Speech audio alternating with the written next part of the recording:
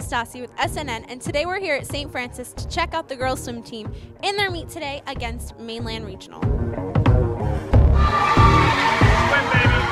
The swimmers practice almost all year round for their season and plan on dominating as A South champs once again.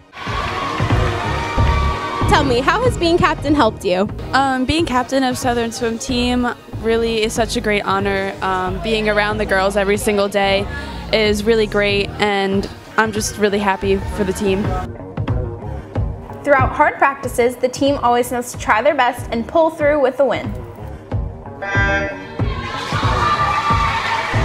What's your favorite race to swim in?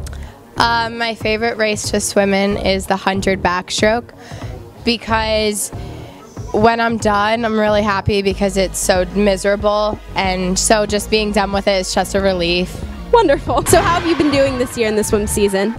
Um, I guess I guess I've been doing pretty good. Um, I'm hitting personal bests in my races, and then I qualified for Shore Conference. Well, how does it feel after winning? Um, after we win our swim meets, um, I'm pretty proud of the team. They work really hard every single day with um, crazy practices, a lot of yardage, so I'm really proud of them.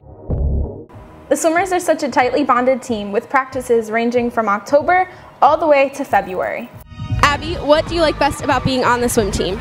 Um, I really like how tightly bonded our team is, and we're probably one of the closest teams in the school because we spend a lot of time together. That's all for today, folks. Remember to come support the swimmers in their next meet. Go Southern!